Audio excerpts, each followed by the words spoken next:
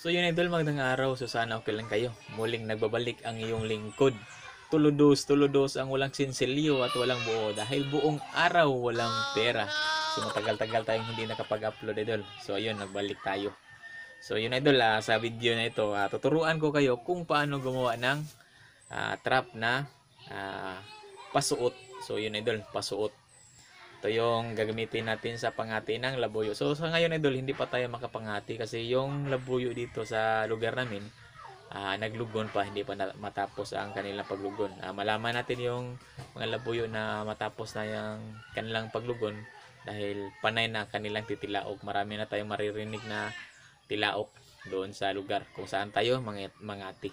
So ngayon idol, ah, tuturuan ko kayo kung paano ito gagawin. So ito yung gamitin nating stick. Yung stick natin na ginagamit idol ay yung tinatawag namin sa Bisaya ah, patikan.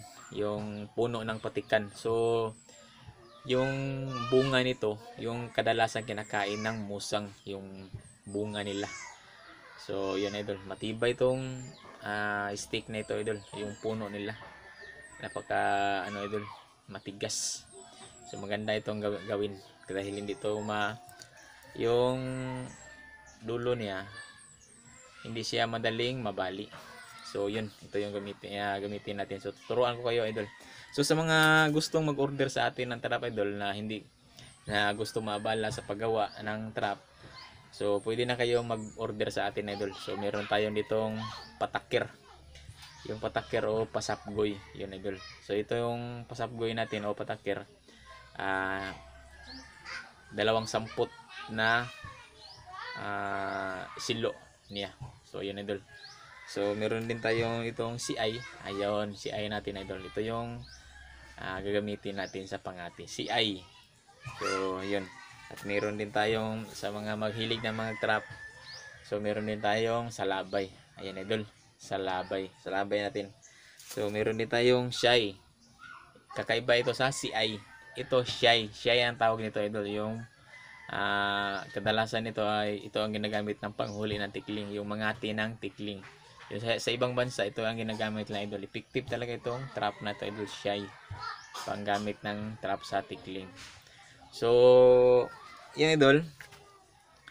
Ah, sa mga gusto mag-order sa atin, so ilagay ko lang yung ah, FB o Facebook ah, dito sa description box natin. So, ilagay ko lang doon doon ah, i-message nyo lang ako sa mga gustong mag-order sa atin ng trap.